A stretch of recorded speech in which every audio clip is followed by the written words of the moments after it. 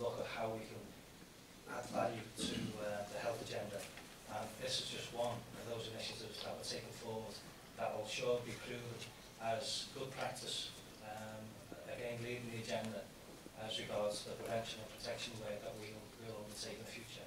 And other fire and rescue authorities, I'm sure, will mirror and follow the, the, the fantastic work that, that we're going to start. Uh, because we all know that the risk profile is changing and that we need to ensure that for ourselves, our safety of our, our staff and our firefighters, when they go into any properties, that they understand what the layout of the property is, what the, where the individuals, if there's any medical issues, whether there's any canisters of any sort being uh, stored in the properties, uh, whether there's any sort of adaptations in the properties that's going to create a, an obstacle or a hazard for when our firefighters attend or have to go into a, a particular property. So all this information is going to be crucial as we go forward with our limited, uh, limited resources. So it is a good news story, and I hope that the media will sort of pick this up because we don't have many good news stories these days, do we? It all seems to be bad, bad news after bad news. And the work that we undertake with the local authorities and all other partners in identifying vulnerable people, because when you look at the statistics, it's, I think it's 70, 75% of people who die in a fire is over the age of 65. So that is quite concerning. So we need to ensure that we direct our resources appropriately and make sure that we have a positive impact on our communities. And again, thanks very much to everybody involved that uh, you know, doing a fantastic job on behalf of the, the Merseyside. Uh, with that, can I move the recommendation of the report? Thank you very much. Okay, and item seven. Thanks, Chair. The purpose of this report is request that uh, members approve the, the safe uh, juvenile fire setting intervention programme and the recommendation of is, is, is that approve the new juvenile fire setting programme. Um, members will see to the, the well, their right hand side, we've got a number of pieces of, of equipment on the, the desk to the side, which you know is, there's a multitude of different things, from little fire engines to maps of, of Merseyside and station boundaries and station areas.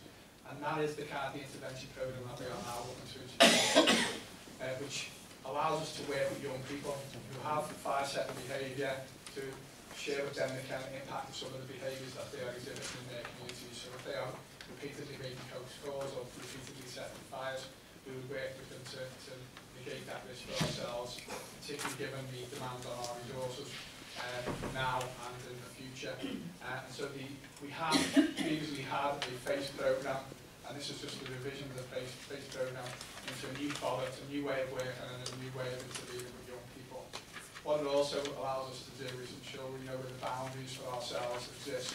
So what is fair play, how we can intervene, young people, but equally how we can move them onto other agencies who are potentially better places to deal with mental health related issues if they exist. So the process would be and services intervene around education, but also identify the individual through what would be described as an early intervention, referral through uh, the EHAP process, and potentially onto the child and adolescent mental health services if, if required to do so as well. So is about our work with young people um, and education, but potentially on through the, the, the, the kind of the care pathway for them. Really. So it's nothing more detailed that, members. I'm happy to take any questions. As I say, the, the products and the information is available on the table to your right-hand side, should you wish to take a look at it. Um, but um, we just seek the approval around the, the new approach, the removal of the PACE programme and the reintroduction of the introduction of the SAFE programme. Okay, thanks. So, Any comments, questions? Uh, yes, Chair. Ju just to ask, uh, are the schools and the youth offending teams buying into this? Because un under the financial implications, it does say that uh, the cost is 7,000 and we would find that from the through the internal budget lines. But I mean, we're, we're out there in the communities and we're working with young people, surely, and if we're getting referrals, is there a referral system young people from? And certainly with, with the with defending teams and, and young people known to the odds, it may not even be them, it could be younger siblings, so at a very much earlier age. So are the local authorities, so is education, schools and, the odds buying into this? Yeah, the teams have been out and spoken to uh, the particular individuals, so the local authorities are, are aware of the kind of the offer that's available to them around that, that level of intervention. And that extends to the offending teams. Do they buy into it necessarily financially? We haven't pursued that in that regard. You know, we've recognised that as a fire and rescue authority. You know, being able to educate people around fire setting and fire plays is probably you know, as pertinent to us as it is to any, any other part of their organisation. The biggest and most key part of the whole intervention is the fact that we get the fails in in the first instance. So they have an, an awareness of what we are able to provide, but equally we are able to work within certain parameters. So we don't extend the work that we do outside of the work that you know, what skills that the individuals have, because we are not child psychologists by any means, and we, we need to kind of ensure that our, our staff appreciate that. They work with them around the interventions, they then are able to assess the, the individual's needs and move them on to other agencies, and so it's a, a pathway which is both ways. A fair from a offending team and our fire set behaviour, our intervention, and then the discussion about where that individual is best placed. Now sometimes we may be able to intervene and that may be sufficient. On other occasions it may be that we have to refer them to another agency to help and support, and then support through the whole process. But those networks, those referral pathways are, are now working, um, So my albeit lord, it's a new you provide me with a proposal that we have been discussing with them, but they are keen to pursue it in the same way that we're keen to pursue it. Carla? Thanks, Chair. I was just going to say, pretty much I think the opposite to Peter. I was going to say I thought the 7,000 was a very small amount of money Yes. um, because I think this is supportive and it dovetails greatly with the help coming from the LAs. And I think in terms of additional social value for this early intervention, it'll be far in excess of that because it is really about changing behaviour very, very early on. And I think that is very reasonable amount of money, in my view. Uh.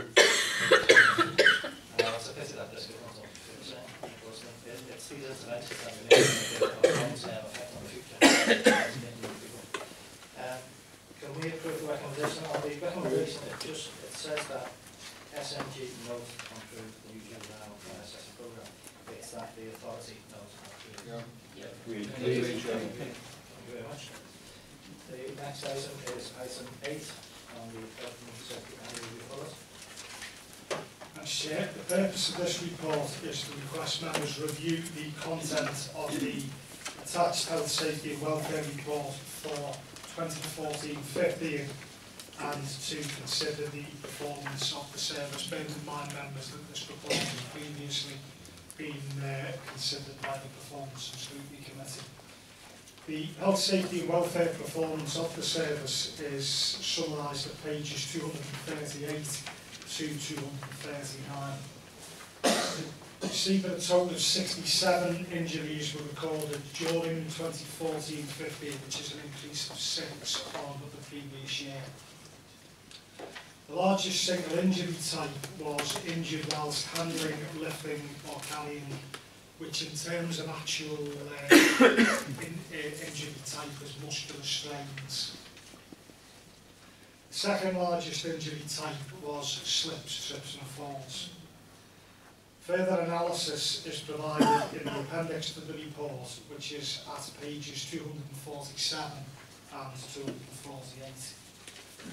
Members will note that whilst the number of injuries increased, the amount of duty days lost to those injuries reduced by over half compared to the previous year. The table at the bottom of page 238 provides a breakdown of the injuries by activity type. Paragraph 2.2 and the associated table, which is at the top of the next page on 239, provides an analysis of injuries by age group. The intention is to identify if the increase in the normal pension age from 55 to 60 is having any impact on the numbers and types of being recorded in terms of uh, age group. A narrative on performance against objectives set for 2014-15 is provided in the tables on pages 240 through to 243. The objectives for 2015-16 are listed within the tables on page 244 and 200, uh, 255, uh, 245 rather. The conclusion to the report is provided on page 245. One point to highlight, members, is the ongoing lack of near-miss reports that are being submitted, which is an issue that we've sought to address for a number of years. The simplistic logic is that the, uh, the more near misses that you have reported, the better chance you have of analysing root causes. So, for example, for, for 200 near misses, there's one accident. So that, that's the, the idea is to uh, is to identify these things through near misses rather actually than themselves be reassured that we will continue to uh, to encourage the in their support. As I said previously, members, the report's been considered already in detail by the Performance and Scrutiny Committee, so it is submitted to you for note. That said, clearly I'm happy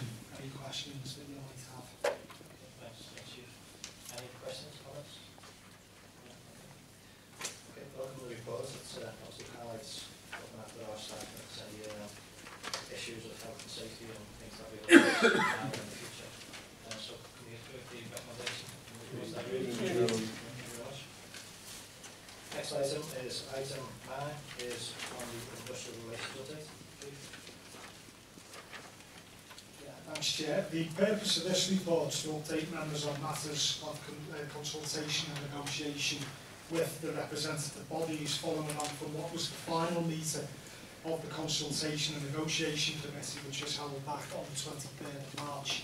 And you may recall that at the AGM you approved the subsuming of the uh, industrial relations update onto the main party agenda, hence this making today.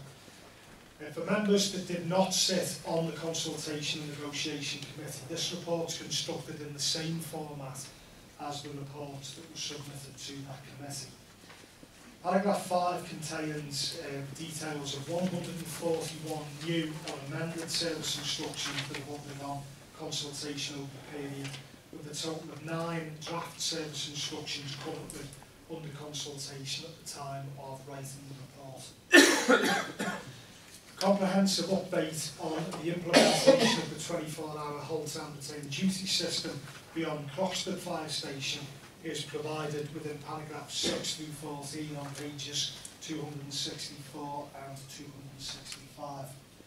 In summary, members, the 24-hour whole time retained duty system is now in operation at St Helens, Huyton, Bromley and Upton Fire Stations. Paragraphs 15 to 26 on pages 265 to 269 provide details of the memorandum of understanding that's been uh, reached with the Fire Brigade Union and also a copy of which is provided in Appendix C of the. It's uh, an important point for me to make, members, that this MOU represents an excellent piece of work between the FBU and officers and is indicative of the very good industrial relations that we now enjoy on Merseyside. the MOU represents a very solid platform on which for us to predicate our operational response model and places us in the best possible position to deal with the further cuts to our budget that were announced earlier on this afternoon in the local government finance settlement. That is something, members, that I'm very proud of and you all should be as well. Another area of real progress, which I'm also very proud of, is reaching agreement with the FBU over a co-respondent trial or emergency medical response, as is noted in your report. Members may be aware that co-responding involves firefighters responding to incidents of cardiac arrest alongside the ambulance service. Update on the Merseyside co-respondent trial is provided in paragraphs 27 through 38 on pages 269 to 271. In summary, members, the trial is set to commence on the 4th of January, initially from Southport, Speke, Wallasey and Croxteth, followed thereafter by Aintree, Birkenhead, Crosby, Toxteth and Old Swan prior to the full rollout across the service at the point at which all of our staff, or the, the overwhelming majority, are trained and in date on their first person on scene uh, medical response qualification.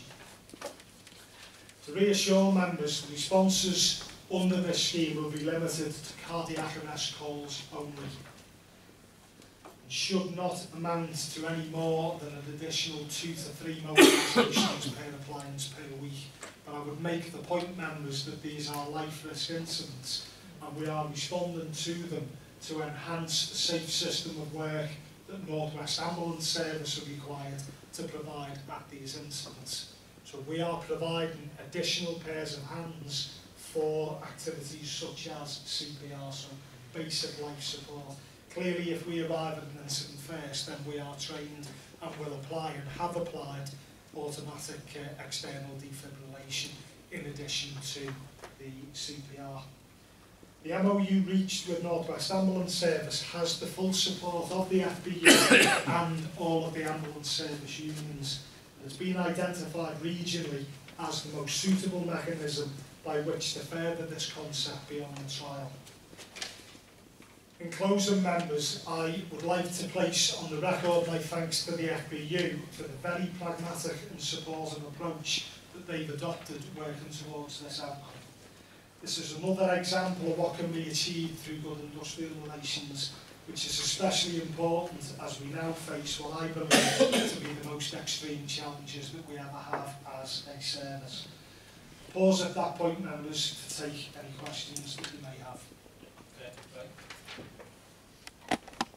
Thanks, Chair. I'd just like to um, endorse the Chief's uh, comments um, regarding the industrial relations with the FBU um, and in general the things that are going on. I mean, I have been dealt with the FBU on health and safety issues and seeing that the cooperation on that side of it with, with, with officers. And this has been extended on this report as well. And it's a pleasure to, to be part of a, an organisation where industrial relations is, is paramount. And obviously, not playing with people's lives, playing with, you know, the, the, the mechanics of people's lives. And I think, I, I think we should be making as as members our support on, the, on that with the FBU. Thanks. Great. Any other comments? No? Yeah, just to, um, as a, mem- as a ex-member of the consultation and negotiation committee, um, I'd just like to say well done to everybody. I know it's been said, but when we said we were going over to just reporting to full authority, I did have any concern, but I would like to say to all the rep bodies, Anthony Murdoch, well done. You've done a cracking job. Your voluntary additional hours, the, the corresponding trial, I never ever thought we'd see that through. So well done. And as far as I can make out, I can see that that's Merseyside Fire. We take some stick by not having retained firefighters here, but we stand by everything because we lead the way. We lead the way, and that's the way it should stay. Nice. Any other comments? I- I'd just like to say, as chair of the authority, how um, proud I am about the, in the way the industrial relations are at the moment and have continued to improve over the last uh, two years or more, and long may that continue. I think it's important that we have that dialogue with all our rep bodies because of the challenging times that we face. I think it's important to have that open and transparent discussion on the cards on the table so we know exactly where we are, what we have to deal with, and how we best can approach it in a joint, grown up and mature manner. And I think that's a credit to everybody involved, uh, especially with the FBU for their um, discussions and dialogue and getting around the table um, and ensuring that we can talk through many of the issues and resolve them in, in, in a fashion that, uh, you know, in years past wasn't known or wasn't uh, achievable. So I'd like to put on record our thanks and appreciation for everything that's, uh, that you've done. And also, as Linda's made reference to, to making sure that it's, uh, thank for that request about here. So the gap. That's all in that. Let's, let's pause at that. We don't want to be As, um, uh, as we go on to other items on the agenda, and we'll find out what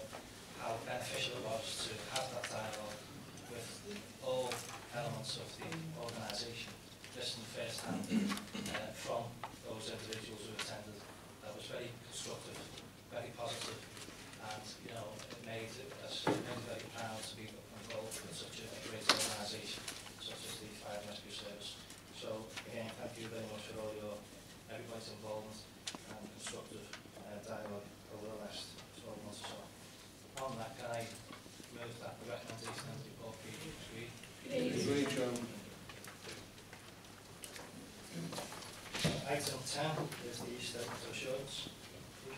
And Chair, the purpose of this report is to record past members approve the statement of assurance for 2014-15.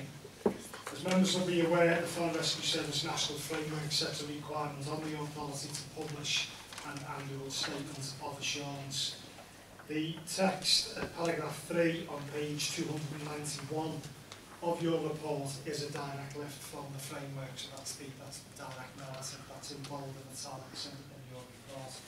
Statement of assurance is attached to the report in Appendix A, which is at pages 295 to 312.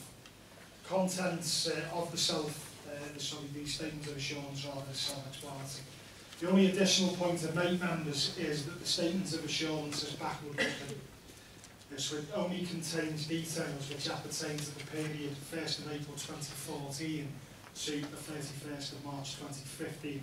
So it does not, for example, reference our response to the Bosley Wood Flour Mill uh, incident in Cheshire or indeed our more, recent response to the flooding in Cumbria. Um, conscious members that today's been uh, quite a long day for you here. I know you've been in quite early uh, from this morning, so I'll, I'll pause at that point and take any questions that you want to have. Any questions or comments?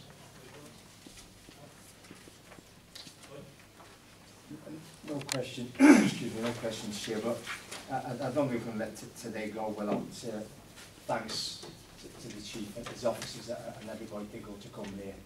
I mean, at the end of the day, you know, you know, I think we've all know people around the area, and I was talking to a few of them, and they actually met up with some, some of the lads who were down there, and, and, and they were saying not only were they, were they absolutely fantastic at their job, he said the normal things that they've done it with a good sense of humour.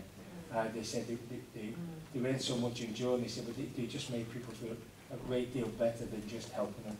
Uh, they had said it was, it was uplifting, and they, and they asked us, they asked me to, to pass on the thanks.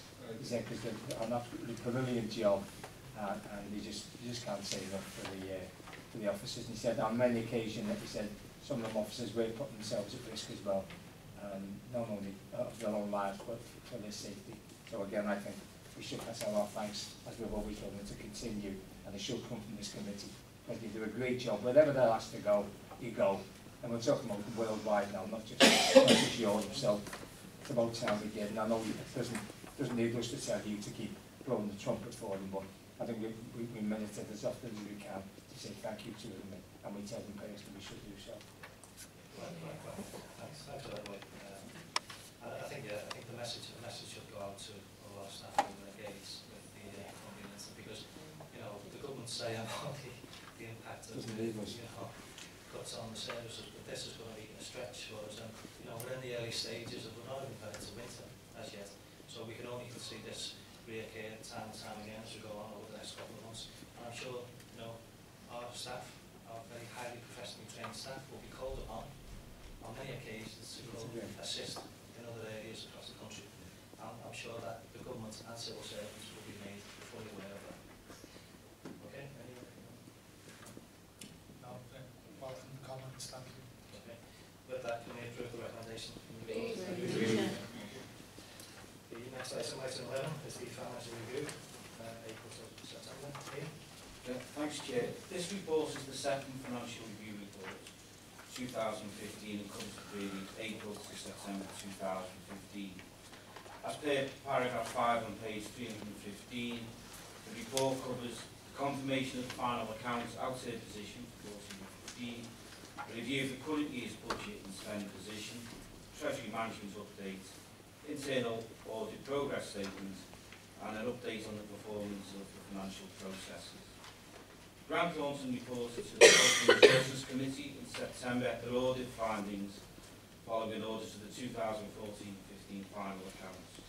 As per paragraph 6 and 7 of this report, the previously reported outturn position for 14-15 remains unchanged, and therefore the 1,187,000 uh, 1,187,000 underspend after taking account of plan reserves has been confirmed.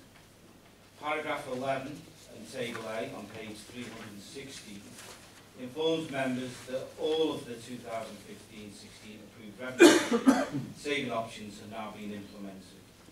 After taking into account actual spend up to September, a forecast 0.8 million or 1% underspend is anticipated on the revenue budget. Paragraph 12 and Table B on pages 317 to 318 outlines the revenue forecast position. The favourable outturn position is mainly due to employee savings as a result of firefighter retirement being slightly higher and savings on the price inflation provision.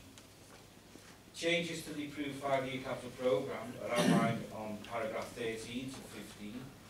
Overall, the programme has increased by 2.2 million following members' approval of the updated costs for the new Prescot Fire Station.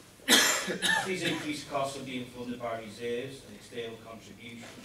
The level of overall borrowing has remained relatively unchanged. Paragraphs 16 to 17 on page 319 inform the members that uh, just, four, just over quarter million pounds of reserves have been drawn down to meet the cost of approved schemes in 15-16. And members agree that the capital investment reserve increased by 0.8 million, funded by the forecast favourable revenue position identified in this report. Treasury management strategy remains consistent with the approved strategy, as outlined in paragraphs 18 through to 23, on pages 320 to 322. Investment stood at 39.4 million as at the 25th of September. However, of this, 24.8 million relates to the firefighters' pension grant that is needed to provide firefighter pension payments in 2015-16. As stated, stated in paragraph 24, some of the internal audit reviews have commenced in quarter two but have not yet been completed. The majority of audits will be carried out in the last quarter of the year to tie up the year-end system checks. And finally, as outlined in paragraph 25 to 32, financial processes performance remains strong. Members are asked to approve utilisation of the 20 million favourable variance to increase the capital investment reserve in light of the future station merger programme and service investment needs. I'm happy to take any questions, but I thought it might be worth pausing at this point as we talk about the financial settlement. Uh, before it came down to the meeting, we haven't yet see, received any formal notification of what our future grant figures will be. However, I've managed to get some indicative figures, but I put the caveat these have yet to be confirmed. Members will recall that we had assumed that we may be facing a 14 million challenge by the end of 1920. Based on those indicative figures, it might be lower than that, 11 million pounds, but 11 million pounds is still a big challenge to deliver by 1920. What I propose to do as soon as today's meeting's over, hopefully we'll have those figures confirmed, and then I'll send members out if that's a- a- agreement, what those figures are, and what the challenge might, might be going forward. So I just wanted to raise that, it wasn't on the report, we're still waiting for the figures to be confirmed, but I wanted to update, update members and what I know. I don't know if Dan's got anything he wants to add on that before I take any questions. Ju- Just before we do just for procedural matters, to ensure that if, if there's any questions or comments on the financial report, okay, taking us up to September, and then if we approve the recommendations within the report, and then allow a verbal update on the information that's only just been received. So are we, are we okay with that Yeah. process? Yeah. Agreed. Yeah, just for the minutes and, you know, just allow us to, uh, to do it. Appreciate everybody else. Are we okay with that? Does anybody have any questions on the financial review? No. Okay. So if we can agree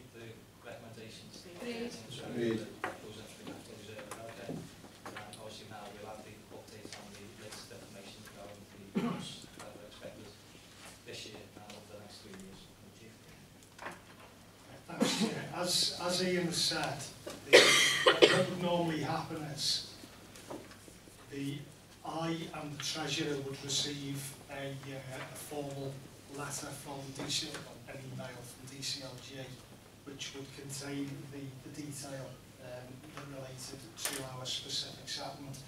So the figures that Ian has spoken to previously are ones that he has managed to extrapolate out of a, uh, of a, of spreadsheet which gives the overall figures for all authorities. So no reason to doubt that they're not accurate, but I just need to caveat the fact that we haven't yet. We may well have, we, it may have come in whilst we've been in this meeting, but at the, at the beginning of this meeting we didn't, we hadn't yet formally received the, the notification, as I say, that would come to me and to me as the treasurer. We have a, uh, a strategy day in January. The agenda for the strategy day uh, will be uh, made uh, will be made available to you soon. If, uh, in fact, I, I think that's an gone out internally. I'm not sure if uh, the members have had a copy of that yet. But if you haven't, certainly you will get that very soon. And we will use that strategy day to firstly give you the, the detail, because Ian will have done the, the analysis at And then I will, uh, I, I will explain to you what that is like. As it stands, we'd modelled a range of scenarios. We had assumed the worst case outcome being a £14 million savings target by 1920. If the figures are accurate, and we've no reason to think that they won't be, that is a, an £11 million target. But be under no illusions, members, any further cuts to our budget from where we are now are going to result in us having to make some very, very difficult decisions indeed. There is no prospect that we will deliver 11 million pounds of savings from non uh, from non-fire station related uh, budget lines. It just is not going to happen. So this is going to result in further fire, losses of fire, uh, fire engines, opposed to clearing fire engines, and therefore fire stations. Okay? So what I've spoken to previously, that is going to come to fruition. Uh, there is, unless there is a referendum for, unless members approve a referendum, and in order to make up that type of deficit on council tax precept, you would be looking at a huge, huge percentage increase that would be going for on a referendum, or unless some miracle occurs between now and when this is formalised, which will be at some point after Christmas, then you know, the position, I, I'm not, can't overstate this, members, this is a, uh, this, uh, whether it's 14 million or 11 million, quite frankly, is academic in one sense. It is a huge, huge challenge. I'll pause at that point, Chair, because I don't really think there's, uh, there's not a great deal more for me to say. I think it's, uh, you know, it's, it's typical of the way the government's uh, handling the, the, the cuts to local governments, and in particular the fire service. Because when you think about it, these announcements should have been made a couple of weeks back, and it's like and then you've got to try and decipher the information, in somewhere along the line. Although we've got some early indication of what might be, or what might look at, that is yet to be confirmed. It also, there's still to be confirmed whether there's going to be an in-year cut or whether it's going to be a financial plan for the next uh, four years in line with the, the parliamentary uh, year. So that could be subject to change. But any further cuts that we have to implement as regards to the Merseyside, when you think on the back, £26.5 million pound cut that we've had to implement over the last four to five years, and the effect that that's had on the service, you can imagine now any further cuts are going to cut right into our core business. It's going to affect our delivery of service, and it's going to affect, it's going to impact the safety of our communities. And if we don't let people aware, and politicians, senior politicians, are aware of the impact that these cuts are going to have to an emergency service, I might say that we're the only emergency service that has not been protected in this last spend review, which is absolutely absolutely disgraceful. On the back of everything that's gone on, with the latest terrorist threats, mm. and everything that we should be doing to ensure that we protect our communities, and we're at a, a, a threat level of severe, So they, it's, they think that the attack could happen any moment. We have to ensure that our emergency services are ready and have the ability to respond to any emergency. And what the government is doing, they're cutting the legs from under us. And, you know, you know, so it's got to help if anything, you know, just when or something happens. Our staff will be expected to be running in there first while everybody's running the other way. And it's absolutely appalling the way this government have, have dealt with the fire and rescue service, absolutely appalling. So once we know the final detail, we'll send that out to all members. And we'll also be sending that out to, obviously, the leaders of all local authorities and also to our members of parliament to ensure that they ask questions in the House of Commons and challenge the government on, on the spending review. Because we can't just sit back and accept this. And I, I know full well that obviously all our trade union colleagues will be doing exactly the same. Every opportunity that we have to raise the questions that this government have never, ever done a full risk assessment or evaluation of the impact that the cuts have had to the fire and rescue service to date, and yet the cut is even further. It's absolutely appalling, this, you know, despicable. But I won't go on, because I don't want to get too political. Um, but is there any other members have any comments? Just one quick one, that maybe we should suggest that the comprehensive spending review be, be changed and have it proper technically, just comprehensive spending cuts. Because I don't know to review, I always think that it may go up, but we know where it's gonna go. And secondly, whether you've done it by accident or not, Dan, you sure that's not what you're looking for the future? There's only six of them. Just to reassure the uh, Councillor Gardner, it is my intention to maintain real fire appliances. I was thinking of the number. But uh, we- we've got the budget uh, strategy day in January, and obviously we'll have opportunities to go through and look at what options are available to, to, to ourselves, to the service. Uh, and then the budget meeting is at the end of February. Um, so over the next, obviously, once we get everything confirmed, uh, send information out to members, um, have some dialogue with our representative bodies and our staff. Um, again, I always say when we've been to uh, briefings of staff, if there's any suggestions or any ideas that you think that we haven't looked at, examine them, let us know, because we may not have all the answers. So, you know, what our, As the members, elected members of the authority, is we try, try our best to protect what we can, not only for staff wise, but also for the service that we deliver to the public on Merseyside. So we've got a difficult job ahead of us. Dan, as the chief, and other senior officers, have got a very difficult job going through Northern Country and seeing what, what we can achieve without affecting our, our service. But, you know, at the end of the day, as I say, the, the low hanging fruit is gone. And now, you know, we're picking away at everything else. And, uh, you know, it doesn't, it doesn't bode well for, for the fire and rescue service as an emergency service. in this country. It- It's, you know, it really is, needs a question. Okay, are we happy with that verbal report? Yeah. Accept it, no happy. Probably the the wrong, um, Acceptance with reluctance. At, at this point, Mark, do you want to say anything? Hello, Chair, I thought you put it rather well, so other than to agree with everything that you've just said uh, about this, but there's a couple of things there. Um, the Chief Fire Officer earlier on um, mentioned the good industrial relations, and, and that is the only thing that we can see will get us through this at the moment. Uh, and our commitment is the same as it was when we very, very first went into these cuts, it became apparent how severe they were going to be. Our commitment has always been to the public of Merseyside, and we haven't wavered from that one, one moment right throughout this, and that commitment is there going forward up to 2020, that the public of Merseyside will come first in every single thing that we do as the fire brigade union. That's all, so I'm not sure. Until we get the, the full breakdown of the cuts, it's, you know, we're, we're commenting on what we can't see at the moment, so. Okay, thanks, thanks, Mark. Okay, well, on that, uh, verbal report, not happy. Should we just note it. Turn the lights out. Right, so that concludes item eleven. Okay, item twelve now is uh, exempt item, so we'll have to exclude all press and